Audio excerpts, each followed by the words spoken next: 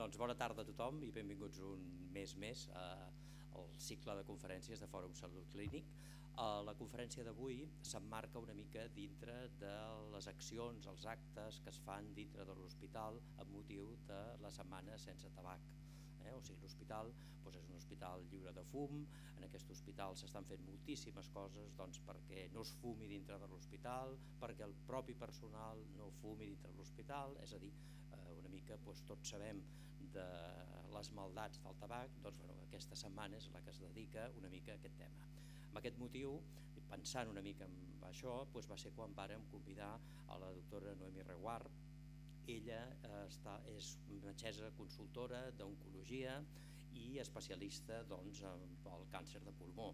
És una persona doncs, que a part de tractar pacients, eh, de fer assistència, és una persona eh, molt considerada en el món de la recerca, sovint, permetem que ho expliqui, però jo crec que és així, és una persona referent mundialment dintre del de, el càncer de pulmó, la qual jo agraeixo moltíssim que ella hagi estat aquí i bueno, a partir d'aquí doncs, una moltes gràcies i tu mateixa.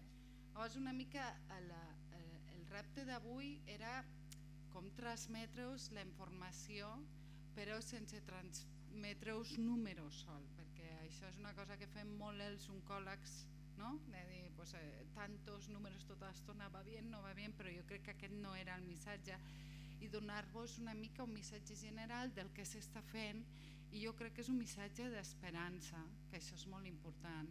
No, no sé si algun d'aquí teniu familiars amb càncer o amb càncer de pulmó o, o bueno, si no és igual, però crec que l'important és que vegueu que amb els últims anys tot està evolucionant moltíssim, que hi ha moltíssims canvis, que s'està fent moltíssim i que està canviant tot molt. No?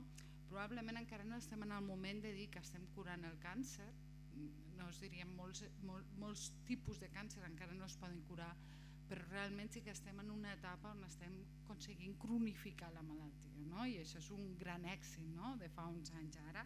Llavors us intentaré explicar d'una manera molt senzilla què és el que ha fet que, pues, que tot això ens hagi canviat. No? I bueno, això està en anglès, però és perquè avui el fet de que estigui jo aquí també és perquè aprofitem que és el dia contra el tabac, no? que és el dia de, de sense el dia sense fum, el dia mundial sense fum, no? O sigui que això s'ha de celebrar a tot arreu, no sols a Espanya, sinó a nivell mundial i avui s'han fet moltíssims tuits referents en això i que, bueno, que a nivell de Catalunya pues, també s'ha fet un moviment no? que el que vol és pues, promoure les diferents associacions i els, a diferents nivells no? de barri, dels pobles, dels hospitals, una mica hem fet això que és la setmana sense fum, ja no és el dia sense fum, sinó és la setmana sense tabac. No? I és del 25 acaba avui a 31 de maig no? i durant aquests dies pues, el que s'han fet moltíssimes activitats a tot arreu eh? pues mira, jo he baixat algunes aquí però tots els pobles han fet diferents activitats pues, uns han fet la caminata, els altres han fet no sé, pues, eh, han anat amb bici els altres han fet exposicions bueno, una mica la idea és conscienciar de lo important que és eh, treure el tabac de el nostre ambient, no? perquè a Espanya hem tingut una cultura molt d'hàbit eh, tabàquic tota la vida, s'ha vist molt bé sempre, oi? Vull dir, tots aquí, jo el meu avi està tot el dia amb la cigarreta penjant a la boca, no? Vull dir que ho han vist tots, això. Eh? Llavors, bueno, eh, ha canviat una mica, ara la gent és més conscient de que el tabac és nociu, però no obstant tot, ara tenim un problema molt gran que és el jovent. El jovent no té consciència d'això. Fixa't tu, eh, quina cosa, abans els nostres avis doncs ens pensàvem que ni ho sabien que era dolent, però és que ara el problema que tenim és que el jovent sap perfectament que això és nociu i a pesar d'això continua sent un hàbit que està molt eh, introduït dins de la societat. No? Llavors, superimportant, superimportant, no sé si ho aconseguirem, però és molt important que hi hagi una molt bona educació, és a dir, per aconseguir que una societat cada cop elimini més el tabac dels joves com un, perquè es vegi com un hàbit bo no? de relació social. Això s'ha de fer des de l'escola, des de ben petits. Als Estats Units els, a les guarderies ja és que els donen unes senyals tan contradictòries contra el tabac que ja són, o sigui, tenen claríssim els nens petits, ja són petits, que allò és com a, a, a verí, no? o sigui, tenen una associació molt clara dolent. Eh? Llavors s'ha de fer un missatge molt clar doncs, que el tabac és perjudicial. I fixeu-vos, això és un, sol una imatge del tabac. El tabac eh, té eh, més de 400 substàncies nocives i d'aquestes, però mireu el que té, té arsènic. Sí, arsènic. Arsènic és un verí. L'arsènico, de les pel·lícules, l'ha matat con arsènico, no? Eh? Però és que mireu, eh? metanol, o sigui, pintura, derivats de pintura, o sigui, us imagineu fumant pintura? És que, vamos, eh, eh, vinagre, com si fos vinagre, o sigui, us imagineu, o sigui, és perquè vegueu les substàncies que si ho penseu, diu, com algú es podria... El cadmi, o sigui, derivats del cadmi, que és el que hi ha a les piles. O sigui, si, si algú que fuma pensa en això, vamos, eh, o sigui, que es poden donar missatges fortíssims perquè la gent no fumi. I a pesar d'això, es continua fent. Això és veritat, eh? està baixat d'internet, però això és tal qual. Eh? I aquí sol hi ha un exemple, però això és una forma representativa molt bona perquè la gent entengui clar, perquè a vegades te fiquen un llistat i tu mires el llistat i dius hi ha moltes substàncies, però així veus claríssim que és el que estàs engullint quan estàs fumant amb una cigarreta. No? Eh? Llavors d'aquestes moltes són substàncies cancerígenes. No? Llavors per què és important això? pues perquè sí que sembla que ara últimament hi ha una mica de descens des de que Espanya, com sabeu, ara deu fer aproximadament 10 anys, van introduir les polítiques antitabac, antifum als nivells socials públics. Us en recordeu quan van començar a fer... Us en recordeu els primers anys que feien els bars, van construir, van ficar com vidres perquè hi havia gent que deia que la gent si no fumava no aniria als jocs, on recordeu? Que va haver una... i que van ficar allí vidres i tot això, no, va ser, era com impossible. Ara us imagineu algú fumant dins un bar? Jo me'n recordo quan anava, sortíem d'anar a la discoteca a les meves èpoques, ara ja no ho fa eh, Jordi, però sortíem per la nit amb la roba i el cabell, us en recordeu? I ara no passa, llavors ara quan sents olor fum és com que t'estranya, no? Perquè dius, que és raro, no? Eh, fixa't tu, el que és canviar un hàbit de la gent, d'una societat, i això es pot aconseguir. Llavors, ara hem de fer un pas més, no? que és introduir-lo més. Jo crec que el pas que hem de fer és el de el jovent, és bàsic, o sigui, s'ha de transmetre el missatge a la gent jove de que el tabac és nociu i això és un esforç que, bueno, pues que el govern i la societat hem de fer, perquè si no transmitim aquest missatge no ho aconseguirem. I fixeu vos perquè eh, l'any passat, el 2015, 9.400 morts degudes sols al tabac. És a dir, de cada 6 morts, 6 persones mortes, una era degut a fumar. No sol càncer, eh? poden ser moltes coses. Mireu, que us he ficat una, una, és divertida, eh? perquè si us fiqueu un llistat era avorrit. Llavors he pensat que aquesta és més divertida per tots. Aquí us fico tot el que pot produir fumar. Podeu tenir més trombosis, trombos, d'aquests de prendre l'aspirina cada dia, d'això que diuen una aspirina cada dia, no? Trombos. Més risc de patir del cor, de tenir infarts, de tenir bronquitis. La gent que té, sabeu la gent que sé que cada hivern ve urgències perquè té molts mocs i perquè s'encostipa molt i llavors estan molt carregats. Hi ha gent, cuidado, això no vol dir que no hi pugui haver-hi gent que té asma no? I que també pot fer infeccions, eh? vull dir que eh, hi han de tot, eh? però pues, el fet de que estiguis constantment eh, aspirant el fum del tabac pues, fa que te s'inflamin els pulmons i que tinguis més risc de fer in, in, eh, infeccions. Bueno, a veure, molts d'aquí no us afectarà lo de la fertilitat ja. Disculpeu, eh? Però bueno, a, a mi ja tampoc, eh? vull dir que no us penseu, però, però sí que és important, la gent jove eh, que fuma disminueix la fertilitat, molt. I la gent això no ho sap i és veritat, la gent es, es pot ser estèril més aviat, ser més, menys capacitat de procrear, els òvuls s'espatllen més aviat si és fumadora tota la vida. O sigui, són coses que són importants i que jo crec que també s'haurien de transmetre bé a la societat. No? Més coses, molts tumors. poden fer també d'altres tumors com pot ser el càncer de bufeta, no sol el càncer, no sol el càncer de pulmó, càncer de laringe, malalties del pulmó, gastritis, hipertensió, malalties vasculars perifèriques, la gent que té mala circulació, patir del cor, tenir infarts, és a dir, hipertensió, és a dir, el tabac realment està associat a molta comorbilitat, que em diem nosaltres, que això vol dir a moltes patologies associades directament al fumar. I una mica això és una foto també divertida, no? per transmetre el missatge. Al final el que, que passa és que el que, els que fumen són els nostres pulmons. Imagineu, si esteu tragant el fum o s'està tragant el fum, el fum arriba directament als pulmons, llavors què fa? És com si, eh, jo què sé, no sé com dir-vos-ho, com si fiquéssiu cada dia els pulmons dins una galleda bruta, no? plena de líquids d'alquitrà, de petroli, hem dit, de què més hem dit, d'arsènic, de derivats de les piles i cada dia posessis als teus pulmons i fumes 5 cigarretes 5 cops allà dintre, us imagineu el que és això? Pues què passa? Que els pulmons passen de ser rosadets, monos, i això és així, eh? és un dibuix, perquè no us he volgut ficar un pulmó de veritat, perquè no, no, no, no sóc cirurgiana, Jordi, jo, eh?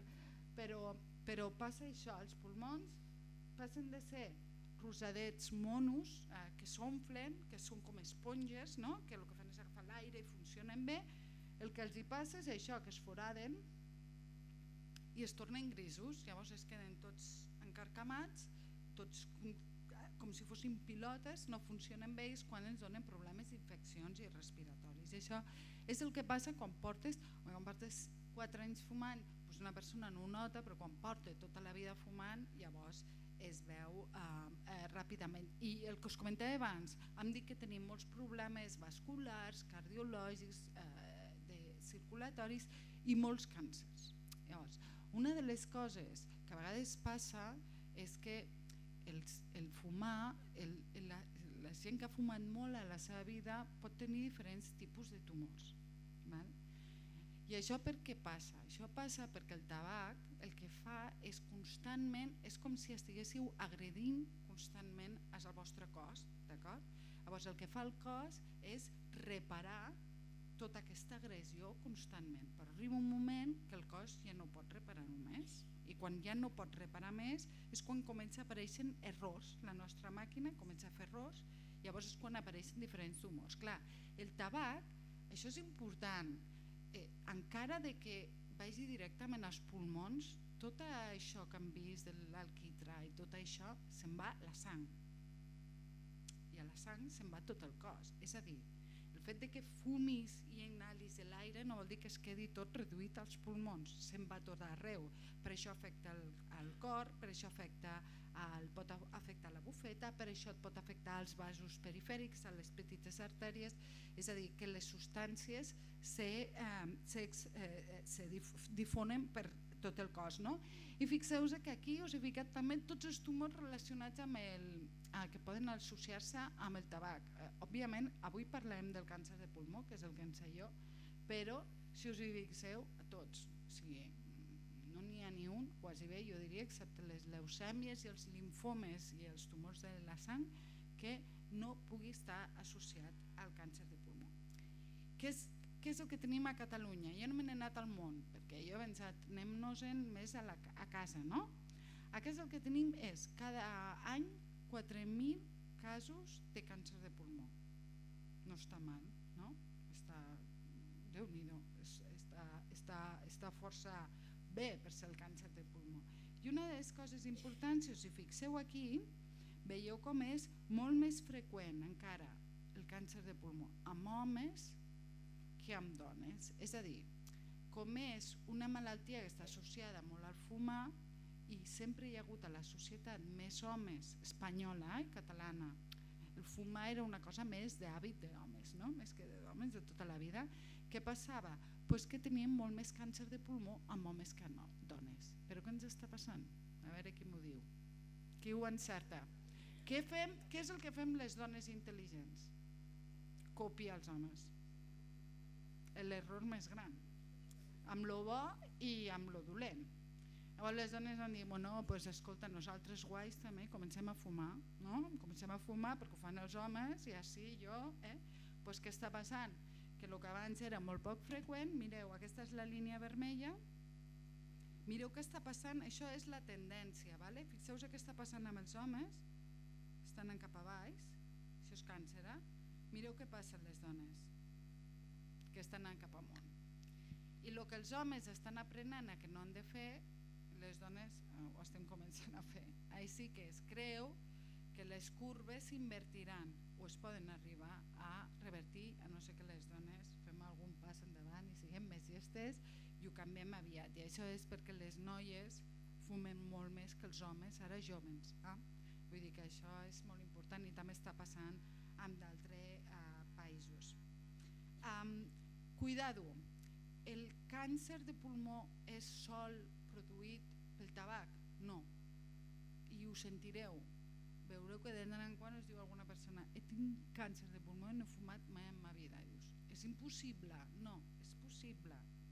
Perquè hi ha d'altres causes del càncer de pulmó. El que passa que la més freqüent és el tabac. Però ja s'han descrit. Eh? Mireu, causes que es poden que s'han descrit i que són, són els asbestos. Sabeu què és la fibra d'amiant? Això que també les vostres... els meus avis vivien en una torre i la van fer tombar perquè tenia amiant a la taulada. Eh? Se'n recordeu que també durant molts anys no sabia ningú i, i, de, i de fet a Cerdanyola hi havia una fàbrica i tenien els terres eh, asfaltats amb amiant. Sí senyor, i, i, i, el, i el jovent jugava a les places amb asfalt amiant perquè no sabia. Ara ho han tret tot, però sí, sí, llavors això doncs, pot produir um, pot produir càncer de pulmó. Entre altres patologies també pot produir d'altres tumors, però bueno, el tabac, que ja ho hem dit que és la més freqüent, això també és important, eh? la pol·lució. Ah, perquè tu te'n vas als Estats Units i allí és prohibit fumar, vamos, eh, de, ni, ni es ven tabac, és com però bueno, mires a dalt i no veus ni un núvol, és, no? és tot pol·lució, vull dir que és veritat, el tabac és dolent, s'ha de controlar, s'ha de prohibir, però s'ha de mirar tot, amb tots els aspectes, eh? perquè una altra cosa que us volia comentar, que és un punt que és interessant, no sé si sabeu que quan va haver l'atemptat a les Torres Besones als Estats Units, la Torre Nord està tota, la majoria feta d'asbest, hi havia un munt d'asbest, i tot això se'n va anar a l'ambient, o sigui que i això no es pot eliminar, o sigui que als Estats Units, a Nova York, hi va haver moltíssima gent que es va exposar amb una substància cancerígena durant molt temps. D'això no, hem fet, no hem fet molta tampoc propaganda ni res, perquè home, és un tema ja va ser prou dur per amb ells, però ells saben de que aquí uns anys hi pot haver una incidència de tumors degut a això. Eh? Vull dir que, I això hi és, i és a tot arreu. Eh? I una altra eh, substància que està descrita és el radon. El radon eh, no sabeu on està, no? Qui ho ha dit? Qui ho ha dit? Mira el senyor. Toma ja. Quina passada. Poseu que ho vaig buscar a internet perquè jo no ho sabia. Jolín, que passada. El Terra ho ha dit molt bé i a les pedres i el pobre i el pobre exacte, sí, sí, sí, sí, exacte sí, sí, sí i n'hi ha molts, saps on? al nord de Galícia, al nord d'Espanya perquè tenen moltes cases fetes amb pedra i tothom viu a saps les cases aquestes gallegues de pedra i tot als sòtans i a les plantes baixes tenen uns nivells de radon altíssims. I l'incidència de càncer de pulmó és molt més alta. Sí senyor. I del tipus de pedra hi ha pedres, jo pel que tinc entès eh, hi ha tipus de pedres que tenen més capacitat d'emetre aquest tipus de radiacions. Sí, sí. I home, aquí potser a Barcelona no estan perquè utilitzem un altre tipus de material però els jocs on tenen cases que estan fetes amb molta roca, amb molta pedra tenen més risc grande mm, d'essa oscura, sí, sí o sigui que hi ha d'altres coses que també s'han de tenir en compte em vas dir en Jordi com vaig de temps que jo m'enrotllo parlant, m'encanta però no, vaig bé, ah? Sí, vale, vale, sí, sí, sí. mira vale. llavors, òbviament el que comentàvem, pues hi ha coses que les podem uh, prevenir hi ha coses que no, llavors uh, clar, si estàs dient càncer de pulmó òbviament el factor més important el que està depenent de tots nosaltres és no fumar, no exposició no fumar és actiu i és passiu. Val? O sigui, el tabaquisme passiu, us vull fer esment aquí que existeix, és important. Una persona que no fuma però està convivint amb una persona que està fumant constantment, fuma igual que l'altra persona.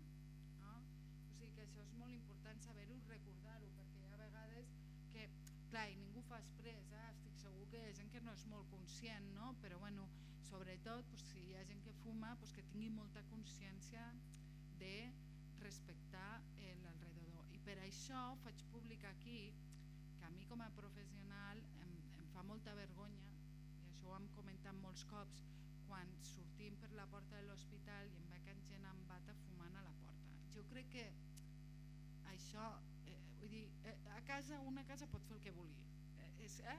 cadascú a l'arribar a casa és un mundo pot fer el que vulgui i ningú se li pot dir res però jo crec que l'època aquella que els metges fumàvem amb els pacients INTE, te'n recordes Jordi? Jo, eh, eh, ja, ja, jo encara ho he viscut quan era estudiant algun metge en bata explicant-me coses fumant, però no es veia mal i visitaven, tu, tu te'n recordes? Tu has viscut, no? I es visitava fumant perquè es veia bé, fixeu-vos, no? I clar, ara ni, ni us ho imagineu, no? Però igualment, no, no sol ha de ser quan està sentat a la consulta, és que quan que no pot ser és que un pacient atravessi la porta de l'hospital i es trobi a cinc treballadors fumant a la porta de Villarroel. No pot ser. Això hauria de ser una cosa que tots tindríem que tenir molta consciència. O sigui que ho han fet bé, no vull dir que ho estiguem fent malament, han millorat moltíssim, tots tenim molta més consciència. La llei antitabac s'ha aplicat superbé, és a dir, ara no és allò, aquí, o sigui, si algú està amb una cigarreta, qualsevol de vosaltres, oi que li diríeu aquí no es pot fumar, no? Vull dir, ho sabeu, pues, han fet coses molt bé, ja tothom és molt conscient, però jo crec que encara podem millorar una mica més. Però és clar, ara anem a una part que és la que um, assusta més, que és la de càncer de pulmó. No? Llavors, una mica, a mi no volia començar a parlar directament, jo volia transmetre una mica què és el que sentiu quan us diuen càncer de pulmó. Què sentiu? Por. Eh, jo ho he posat, eh? Por. No? I, I la cara que he ficat al costat és la de por. No? Jo crec que el càncer de pulmó és d'aquests tumors que quan ho diuen una persona el primer que diu és no, no sé què em diran, m'és igual, però això és dolent. O sigui, tothom ho té molt associat com una malaltia eh, eh, dolenta, no? Però jo el que us vull transmetre a la meva xerrada és que hi ha esperança, eh? que s'estan fent moltes coses, que s'ha avançat moltíssim, que s'està investigant moltíssim i que encara podem millorar més i que, i que només us dic que jo no tinc temps d'estudiar-m'ho tot, que ja han sortit coses noves, us dic de veritat, o sigui, cada any, eh, i el Jordi també ho va sentint, cada any estem eh, posant nous fàrmacs, nous eh, indicacions, nous eh, eh, descobriments a nivell de científics.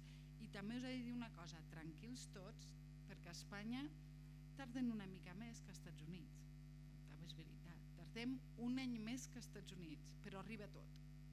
Vale? O sigui que, que tothom es quedi ben tranquil, que no hi ha res que tinguin als Estats Units que no estiguem fent aquí a nivell sanitari i això és molt important perquè dona molta confiança, us ho dic de veritat, jo dono moltes xerrades arreu del món, explico la meva experiència i eh, realment t'inviten perquè saben que a Espanya el nivell professional, científic i de la sanitat pública és igual que el dels Estats Units. Tardem una mica més en, en donar-nos permís perquè és una qüestió de lleis, però tot arriba. Llavors el que us vull transmetre és aquesta esperança. No? I perquè una de les coses més importants, mireu, quan algú m'arriba a mi en càncer, el primer és bloqueig total, por absoluta, i és curiós que molts cops surten de la consulta sembla que ja puguin fins i tot respirar, no? I la diferència principal és la informació. És superimportant. Conèixer el que tens davant, saber què et faran, saber quins tractaments pots tenir, saber què pot passar o com pots anar amb el tractament en els propers mesos. Això és molt important i quan la informació, a pesar de quan te donen un diagnòstic així, sembla que no pots, no pots, no pots, després tota aquesta informació és la que et permet anar tirant endavant i anar analitzant les coses. No? Jo crec que això és molt important i s'agraeix molt, i us ho dic perquè a la consulta jo sempre intento donar el màxim d'informació possible. No? Això era una mica el mateix. Llavors, clar, d'on ve el càncer de pulmó?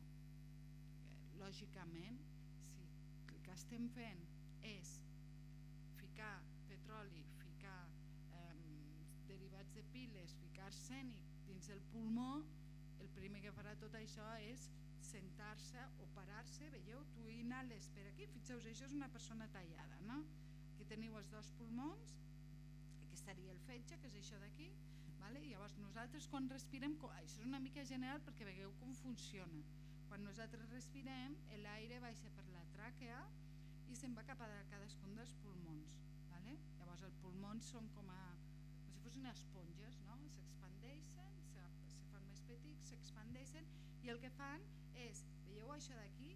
Hi ha una sèrie tot de, com de venetes molt petites, molt petites i com saquets molt petits que el que fan aquí, a la zona aquesta dels saquets, és, eh, són aquestes cèl·lules que són molt intel·ligents, agafen l'oxigen i solten el CO2, no? que és el que fem quan expirem i quan expirem. Això que sembla tan fàcil, doncs imagineu-vos milers d'aquests saquets fent això, és així. Eh? Llavors, aquests saquets per dintre, mireu que tenen moltes cèl·lules, cèl·lules que el que fan és això. Tot al final són cèl·lules, o sigui, nosaltres som no? És que els metges ten, estem tan acostumats a veure tot com cèl·lula i jo encara miro més profundament, eh? perquè jo me'n vaig a l'ADN d'aquestes cèl·lules, però fixeu-vos que això, eh, tot el, el, sol el fet de respirar és l'exercici que estan fent aquestes petites cèl·lules aquí cada dia i això el que ens permet estar eh, vius. Llavors, clar, què és el que estem fent amb el tabac?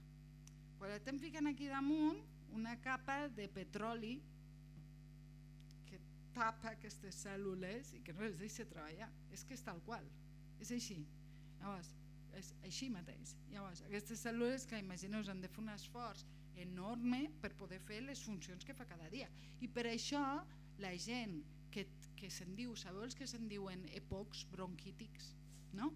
que els hi costa respirar, els hi costa respirar perquè aquestes cèl·luletes que són les que ens fan respirar les tenen tapades molts cops doncs, de totes les substàncies que han anat respirant amb el fum del tabac. Eh? Llavors, això és una mica la bàsica, però llavors què ens passa? Pues, al igual que aquestes cèl·lules estan molt temps que no funcionen, que estan malament, al final estan tan malaltes que el que els passa de cop un dia canvien. I de cop diuen ara vaig a créixer.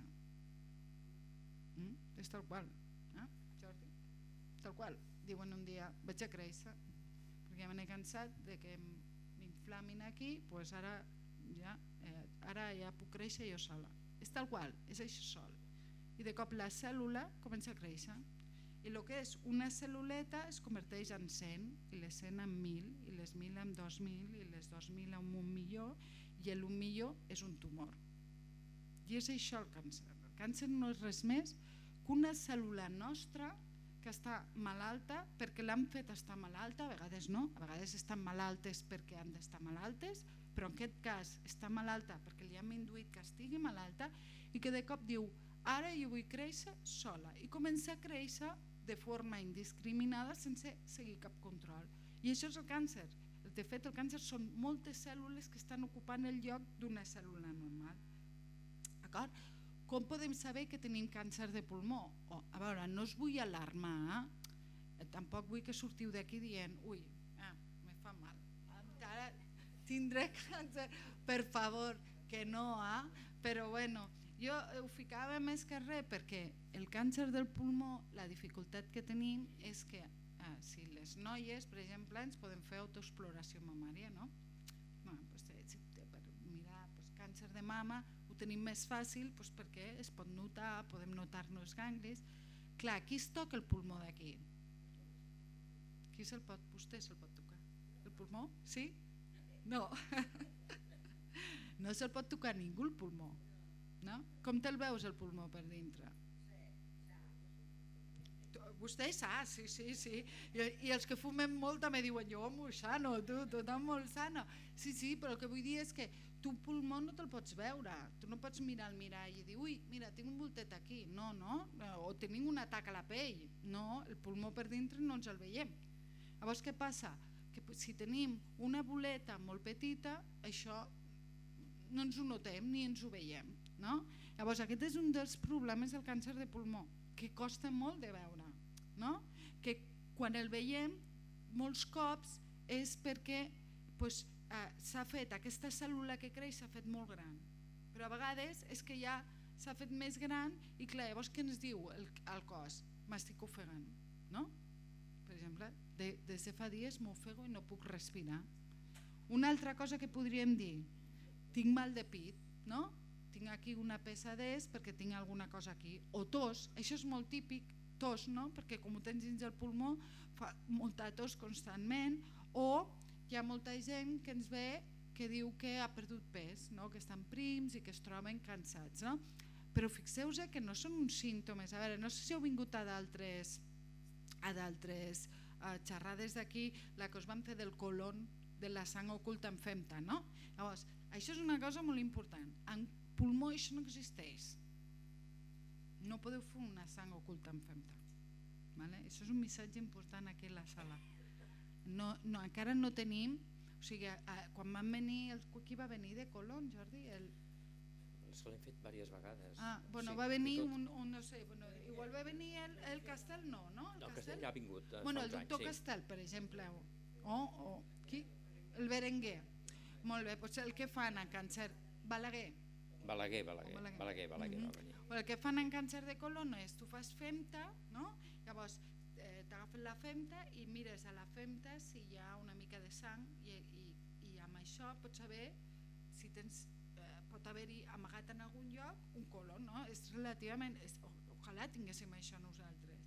Això en pulmó no existeix, no existeix no es pot fer. Després podríem parlar de per què no es pot fer, no? però bueno, en pulmó, en càncer de pulmó, això no es pot fer i això ho dificulta més. És a dir, importantíssim evitar al màxim els factors de risc perquè no tindrem una prova com per exemple la mamografia és l'altra, no? les senyores o que ens fem o els, eh, les citologies de cèrvix no? pues això en pulmó no existeix pues no diria, escolti, per què no es fan tacs cada mes pues ara de moment això encara no s'ha vist que aconsegueixi disminuir el risc de càncer de pulmó. Estem en ello, eh? però de moment no ho tenim. Vale? Com el detectem? Amb una prova d'imatge, vale? amb un TAC, amb un PET, és a dir, ens fiquem darrere de la foto, llavors el que no es veu res, quan et fiques allí a la foto veus això, no? veiem el cos per dintre, eh? veiem taquetes, que això és un PET, i les taquetes on brillen és on pot haver-hi tumor. Llavors és quan el veiem però si no fem això i no em fico darrere d'aquesta pantalla ningú el veu perquè no és com un tumor de la pell que puguis veure visualment. El que us comentava abans el podem detectar abans. No entrarem en si tingués aquí els cirurgians me dirien que segur que sí és un tema difícil.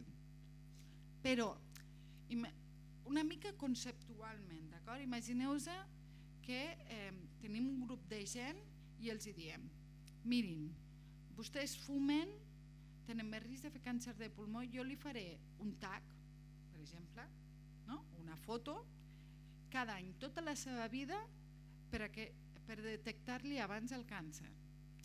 Clar, no ho veieu una mica raro? Que els quins missatges li hem de transmetre a aquella gent? Clar, que no fumi. Clar, és que és molt diferent, no? I que això és molt important. Ara bé, sí que és veritat que, bueno, que el fet de fumar s'han de fer actes d'ajudar aquesta gent a deixar de fumar, molts cops és una addicció molt forta, s'ha d'ajudar, s'ha d'acompanyar, es pot aconseguir, o sigui que es pot aconseguir, que hi ha moltes maneres de fer-ho i amb aquella gent que a pesar de tot i de deixar-ho a fumant molts anys, pues, ara mateix per exemple, als Estats Units s'estan començant a fer campanyes en les quals a la gent els hi fan una foto en el pulmó, una a l'any, durant uns anys, i s'està veient que això podria funcionar per trobar aquests tumors petitets. Vale? Això aquí a Espanya encara no s'està fent. Eh? Pot ser que en un temps comencem a fer eh, pues, algun estudi aquí prospectiu. El, per exemple, l'Hospital Clínic estan treballant un projecte que el que volen fer, eh, si sou del barri us en riureu, però van, és de veritat, eh? es volen ficar dos màquines molt grans de tags, de fotos d'aquestes al carrer en camions i a fer un programa per fer tags a la gent fumadora de l'àrea de l'Eixample, per detectar els tumors de la gent que fuma. Home, aviam, també és veritat, a la gent que fuma i no pot deixar, doncs, també els hem d'ajudar. Vull dir que jo crec que el fet de fumar no s'ha de veure tampoc com un estigma i castigar més a la gent, no? Vull dir que llavors um, el que es vol fer és això, és un programa que el que consistirà és fer tags a la gent de l'Eixample. Està bé, no?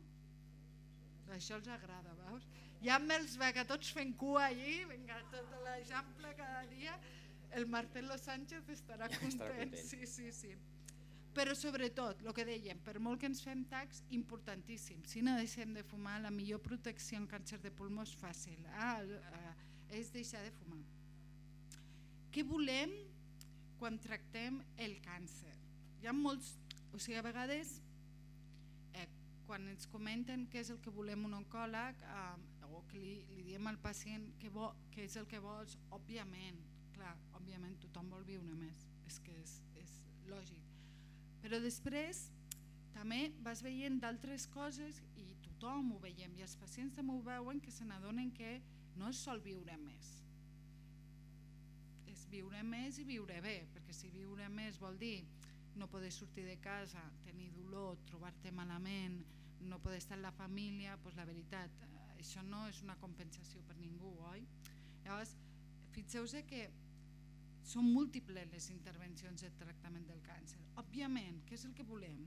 Hi ha supervivents. Fixeu-vos que aquí no hi fica lloc curació, perquè és que es pot viure en càncer sense estar curat. Llavors, aquest és un dels objectius principals de la societat probablement no ens passarà com ha passat amb, amb el virus d'hepatitis C que s'ha aconseguit erradicar, no? Que ha trobat un medicament que és curatiu. Ara no estem en tumors, en càncer, no estem en aquest moment encara, però el que estem aconseguint és això, llargs supervivents.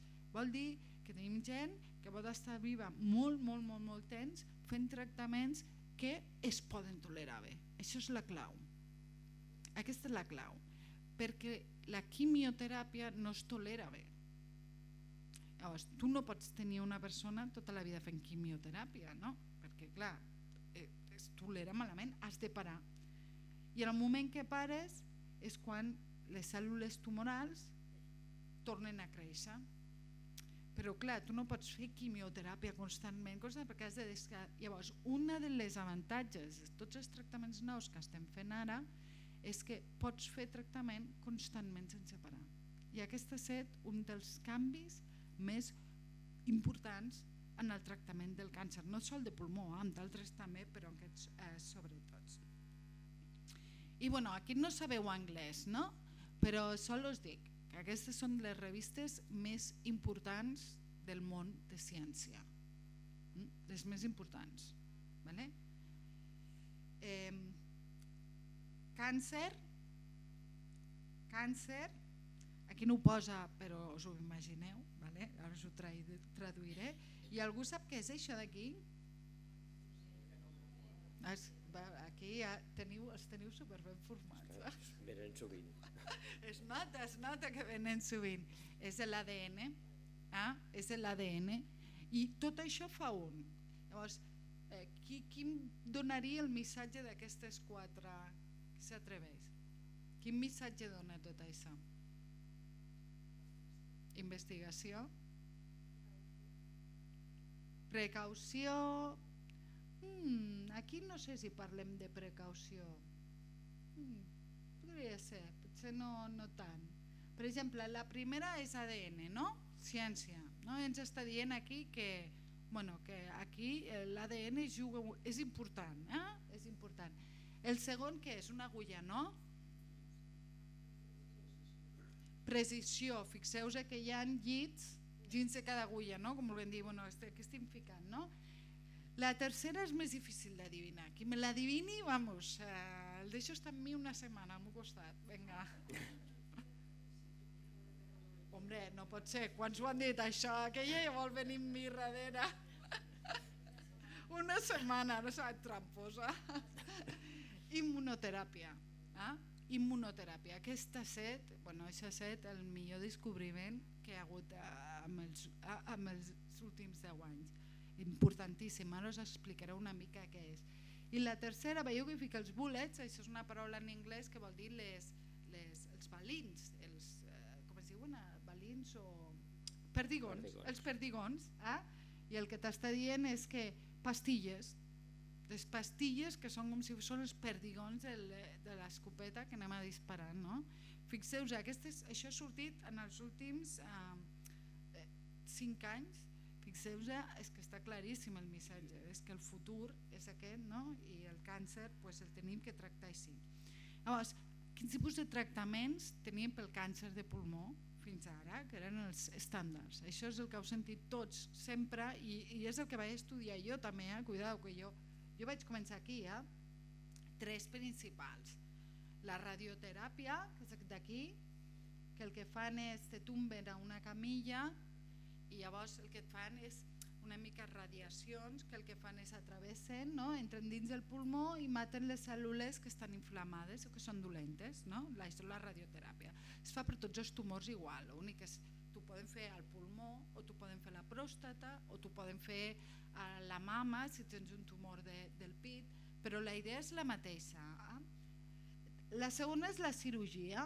Eh? Pues si, si tens el tumor molt petitet que està localitzat en un lloc, pues te poden obrir i et poden treure el tros de pulmó que està malalt. Eh? La cirurgia existeix i, bueno, i es pot fer. I la més comú que ha sentit tothom d'aquí és el cabell, la quimioteràpia, els vòmits, els efectes secundaris, que era el de sempre, no? que la quimioteràpia que es posava eh, per la vena. Llavors, ja en tenim dos nous tractaments que són els que ens han canviat absolutament tot. I són aquests dos. L'un són els perdigons, vale? que és això d'aquí, fixeu-vos, que, que van a dirigits a un lloc concret de la cèl·lula, i l'altre és el de la immunoteràpia. I ara us explicaré una mica quina diferència hi ha entre un i l'altre. No anirà als detalls, òbviament, eh? perquè si m'he de ficar a explicar-vos tots els, els estudis que hi ha en cadascun d'aquests no, no entendríeu res. No? Llavors, jo només us vull donar un concepte general. Això d'aquí, eh, a vegades una imatge val més, val més que mil paraules no? i té molta importància. Hi ha una cosa important, la immunoteràpia, fixeu que tu tens aquí, això d'aquí serien els dolents, que són les cèl·lules tumorals, sí? i això d'aquí són les vostres defenses, d'acord? Què passa quan tenim una infecció? Què fa el cos? Rebutja, no? El rebutja, perquè el cos sap que allò és un bitxo i que l'ha d'atacar, no? És, la cosa il·lògica en el càncer era, i que no en teníem ningú, era per què les, si les defenses veien el bitxo no? i el destrueixen, no? perquè les defenses no ataquen el tumor. No? És que és totalment il·lògic, no? I dius, és que tot sempre tothom ho havia pensat, no? És que clar, si, si tens les defenses allí, tens el tumor dintre, per què les defenses no estan destruint el tumor? Llavors era com a raríssim, però clar, el tumor, jo us ho dic, eh? si en algú admiro en aquest món, jo és el càncer. Penseu que el càncer, jo crec que és, has de tenir por al teu enemic, has de, has de veure-li les seves capacitats per lluitar fort contra amb ell. I el càncer és intel·ligent, o sigui, el càncer, penseu que no és, eh, ell eh, diu jo he de viure, jo he de créixer, sigui com sigui, aquí. I si jo estic rodejat de defenses que em volen destruir, què faré? Doncs pues m'amago. M'amago.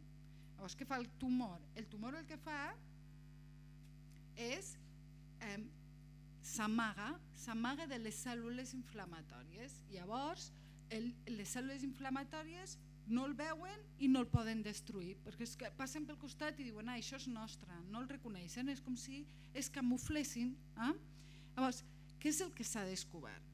El que hem aconseguit amb aquests medicaments és treure-li aquest camuflatge als tumors. Ja està, senzillament.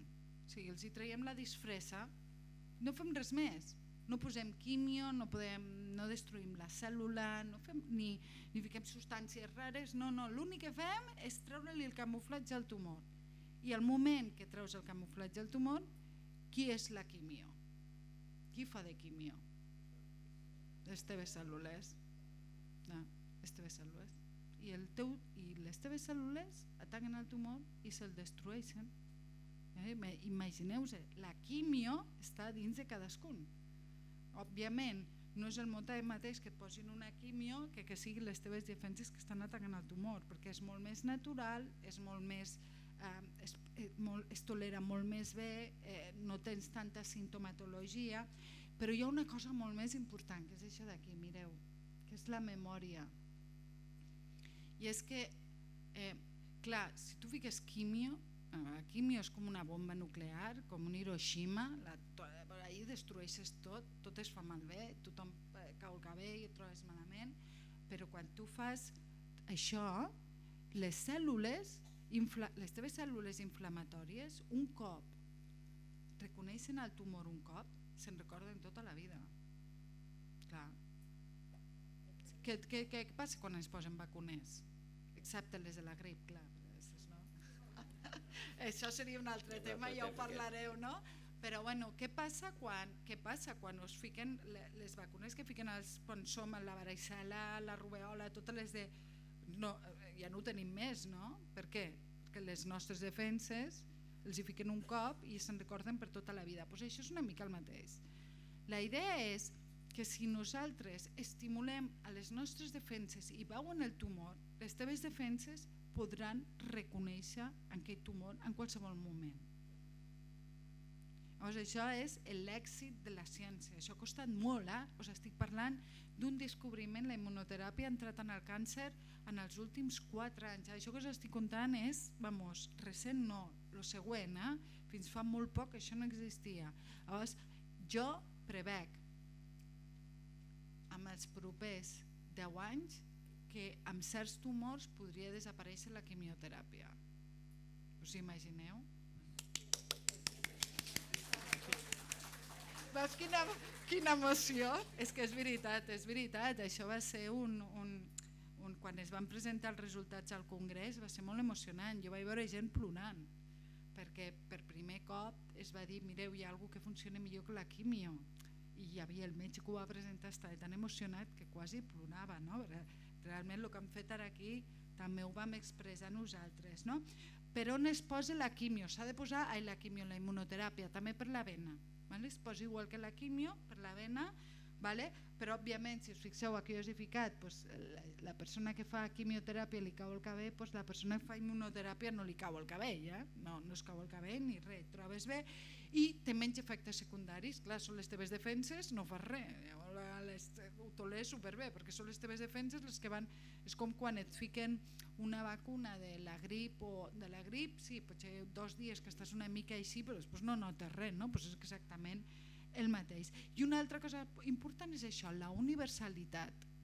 Què vol dir? Que com són les teves defenses, qui no té defenses? Ah, no. La majoria, la majoria, no tothom, 100%, hi ha algú que està molt malalt i no té defenses i les té baixes, no? potser hi ha alguns grups de gent que tenen malalties, però tots els que estem aquí a la sala tenim la capacitat de destruir un tumor l'únic que hem de fer és donar-li un medicament que el que fa és ajudar una mica les defenses perquè acabin de fer la feina. Ho enteneu? Molt bé. I després anem a l'altra part, i l'altra part ha set eh, el que se'n diu, el que hem dit dels perdigons. Vale? I aquesta part dels perdigons també ha estat superimportant. I això ha estat gràcies a conèixer com és el tumor per dintre. Al veure que hi ha certs gens de dins del, del material genètic dels tumors que són com claus de la porta. Jo sempre els explico als meus pacients així, és a dir, tu la, tens la clau exacta per la porta exacta. Si la tens la bona, obres la porta, si entres i no pots, doncs exactament igual, no? no pots tancar la porta. I això són els tractaments que se'n diuen dirigits. Dirigits vol dir la clau perfecta per cada porta. És a dir, nosaltres dissenyem, o es dissenyen pastilles que són claus per cada tumor i per cada porta i encaixen perfectament. Però clar, si volem que encaixin, no em val a mirar a la cara d'una persona i dir-li mm, vostè el tumor per dintre serà mm, així. No ho podem fer, òbviament, no? Llavors, això és diferent que la immunoteràpia. La immunoteràpia hem dit universalitat, tu tens les teves defenses, fiquem una substància que li diem a les defenses ei, treu-li el camuflatge al tumor i ataca. Aquí és diferent. Aquí, clar, haig de fer un tractament que sigui com una clau específica pel tumor. Per tant, he de saber com és el tumor, no? Per saber com és el tumor, què hem de fer? Eh? Punxar-lo. Eh? Llavors, exacte, estudiar-lo i això és el que fem. Eh? Pues agafem una mostra del tumor, la traiem, després analitzem això d'aquí, que és el material genètic, cuidado, del tumor. Vale? Això és una cosa que a vegades la gent es confon perquè diu, no, m'han dit que tinc un gen al meu tumor. Sí, clar, el tumor té gens, però això no vol dir que sigui hereditari. Això un dia podríeu explicar, hi ha molts tipus de gens, eh? Però això vol dir que el tumor té el gen, això no vol dir que el tinguis tu a la sang i que sigui teu, eh? és del tumor. Jo el que estudio és el gen del tumor. I fixeu què fem. El que fem és, aquí ja no és universal, això no és com la immunoteràpia, aquí ja no ho dono a tothom el que faig jo és mirar qui de tota la gent té aquesta clau específica que li pugui donar una pastilla i que funcioni. Però aquesta gent són poquetes, sí, és veritat, no són tots. No és com la immunoteràpia que la puc donar a tothom. Però en aquests els hi funcionarà segur. Mm? I això se'n diu medicina de precisió. Vale? Que ho sentireu molt per la ràdio, ara es parla molt d'això medicina de precisió, que vol dir una medicina precisa, és a dir, que exactament saps què donar perquè has pogut analitzar el material de cada tumor. I diu, uau, aquesta és, aquesta és el nivell, eh? Això ja és per gent que va a la universitat, eh? aquí. Però fixeu-vos el que fem, traiem el tumor, analitzem l'ADN, Fem això d'aquí, que és a dir, ho posem en màquines que tenim a l'hospital, ara una unitat molt, molt bonica, molt xula, nova també, que hem estrenat, quan la setmana passada es va estrenar el, el, core molecular, sí. és a dir, és, han fet una unitat sol per fer al clínic i que teniu tots vosaltres accés, que és sol per això, per fer medicina de precisió, és a dir, s'ha creat com hi ha, hi ha medicina interna, hi ha urgències, tenim radiologia, eh, què més tenim? Eh, patologia, eh, endocrinologia i medicina de precisió. Què us sembla? Això no existia, i ara hi és. I ara hi és, i és tota una sala plena d'aparells com aquest, que el que fan és analitzar l'ADN i ens diuen quina pastilleta li ha de donar a cada persona. Ah? Vale? I això ja ho estan fent. Clar, això costa diners això costa inversió, això costa un esforç molt gran per la salut pública, perquè imagineu-vos ficar aquests aparells no, no es fa d'un dia a un altre, però és important, estem allí, que sapigueu que aquí ho teniu i que s'està ja fent anar. Ah? Què volem? Pues que siguin eficaços, vale? hem dit, que funcionin bé, que garantim que funcionin, que es tolerin millor que la quimioteràpia, ja no volem veure que m'ha caigut el cabell o tinc diarrea o estic vomitant a casa o estic molt cansat i tot això que fa? Pues que els pacients puguin viure encara que visquem amb el càncer, pues visquem bé i que puguem conviure amb això, d'acord? Perquè això és important. Eh? Molts cops, quan parlem amb els pacients, eh, les percepcions que tenim els metges són diferents de les que es veu cadascun. Vale? i les prioritats de cadascun de vosaltres pot ser diferents de les que jo us estic interpretant a vosaltres. ¿vale? Fixeu-vos aquí. A vegades, eh, eh, el, clar, tu, tu dius, no, jo t'estic dient un 6 i jo et veig un 9, no? Vull dir que, clar, cadascú, cada pacient té unes prioritats diferents i potser el pacient m'està dient, ei, tinc llagues a la boca, i jo per mi, pues, ell m'està dient per mi és un sí o ell m'està dient és un nou perquè per mi això és molt important i jo com a metge dic, bueno, però els llagues tampoc n'hi ha per tant, no?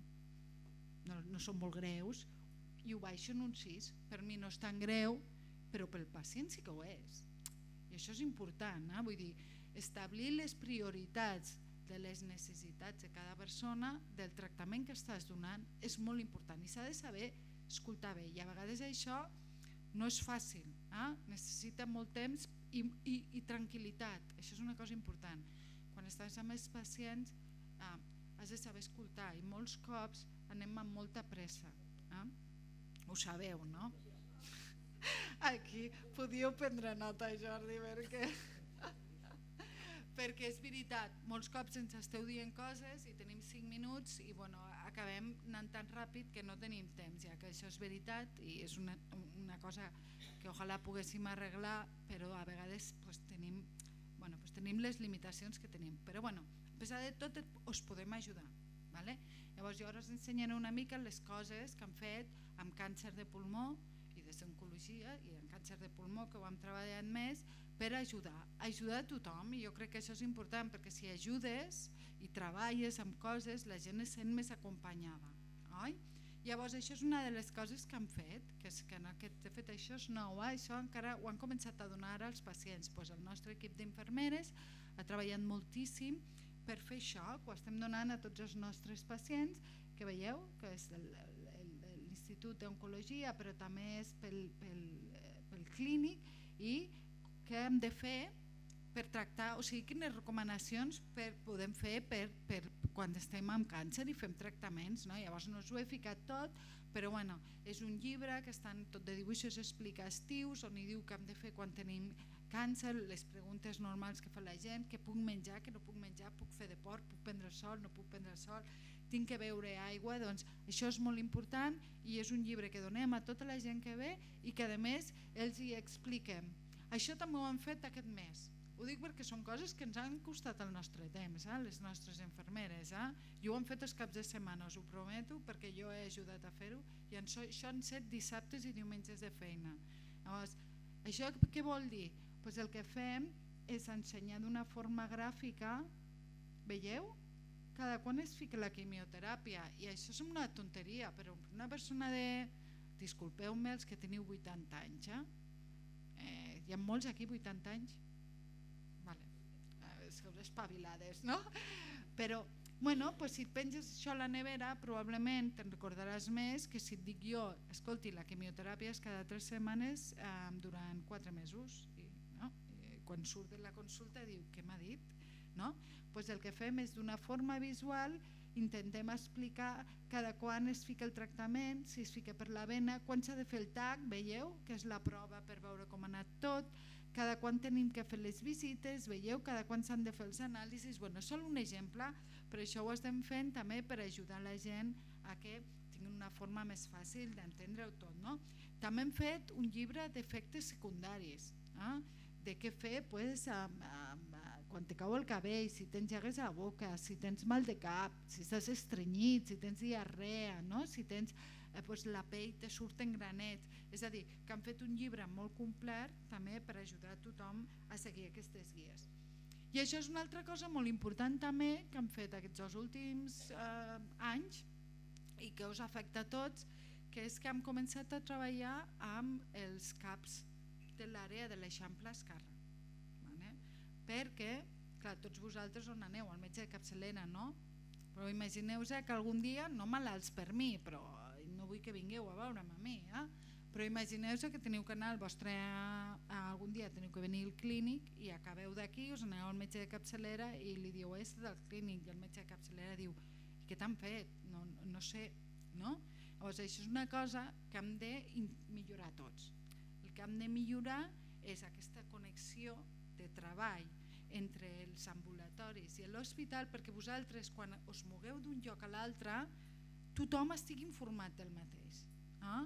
Dir, això és molt important i s'està fent molt esforç entre l'hospital, hi ha una iniciativa perquè cada cop hi hagi més interacció entre l'ambulatori i l'hospital en si.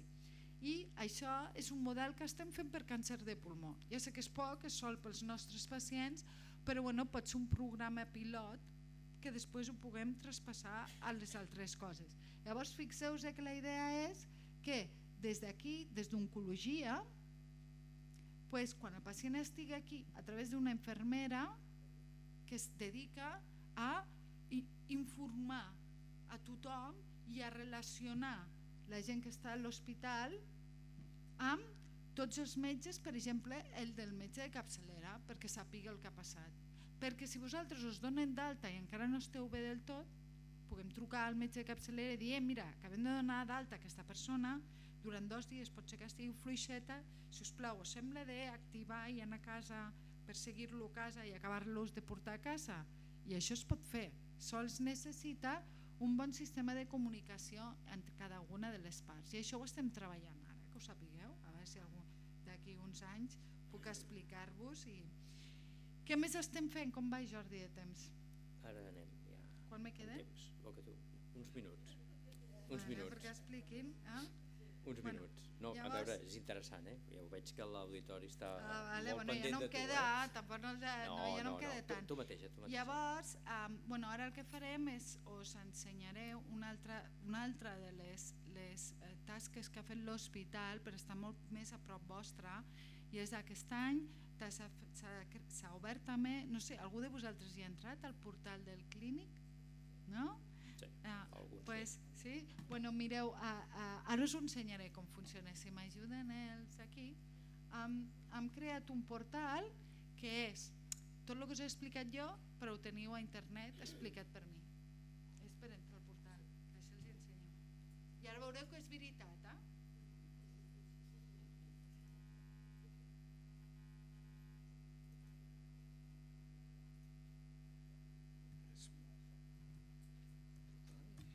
portal clínic ja entra, eh? si digues portal clínic... Sí, sí mira, ja està.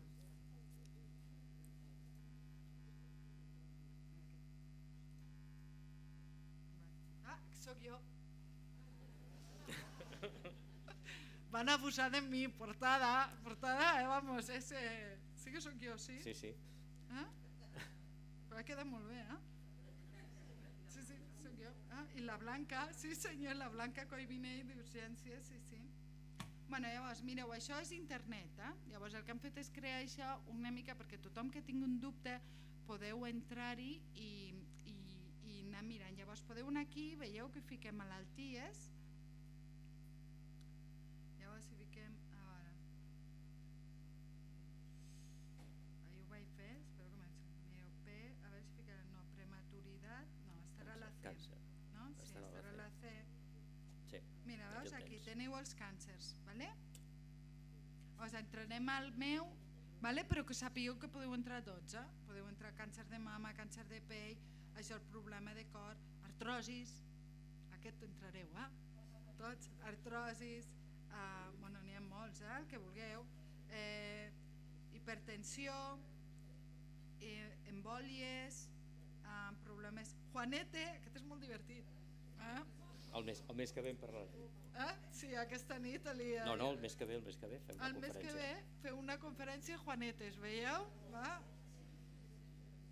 Bueno, que podeu entrar pel que vulgueu, vale? llavors no ho hem fet tot, eh? ho hem d'acabar, no s'han fet totes. Sí.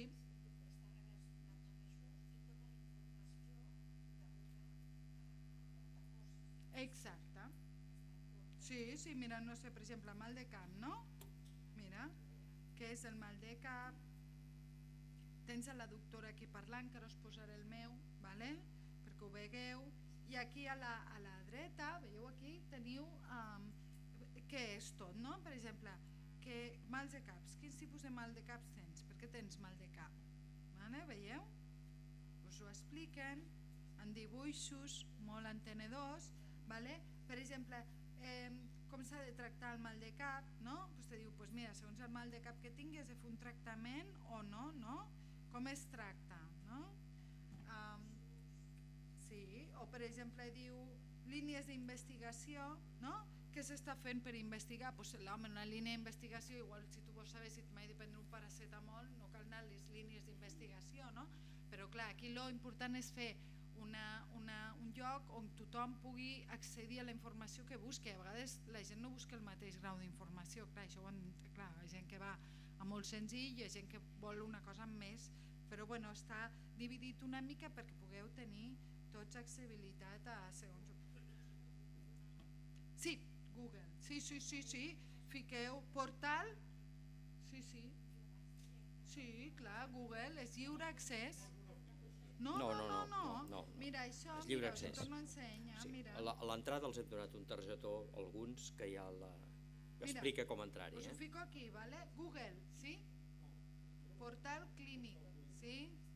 Portal Clínic Barcelona, ¿sí? És molt fàcil, pots entrar de moltes maneres. El primer que et surt, és com han fet molt bé des de comunicació, ja ho han fet perquè sigueu, els- siguem els primers. Veieu que fica Portal Clínic, li doneu i ja surt Noemí Reguard. O sigui, ja sabeu que esteu dintre, eh? Vale? Uh, bueno, llavors tornem, vale? Sí? O sigui que això ho podeu entrar quan vulgueu. Llavors, bueno, també he de dir que això és una beca de, del Banco Bilbao, això és el BBA, el Banco Bilbao Vizcaya, no? Ho dic, sí, ho dic perquè és important també donar-los les gràcies, eh? perquè això ha estat una donació amb ells per poder-ho desenvolupar durant aquests dos anys. Eh? Llavors, tornem al càncer i ens n'anem al nostre, val? el que teníem avui, el càncer de pulmó. Vale? I aquí ho teniu tots. No us tornaré a posar el meu vídeo perquè seria repetir el mateix una mica que us he posat, però bueno, podeu accedir-hi eh?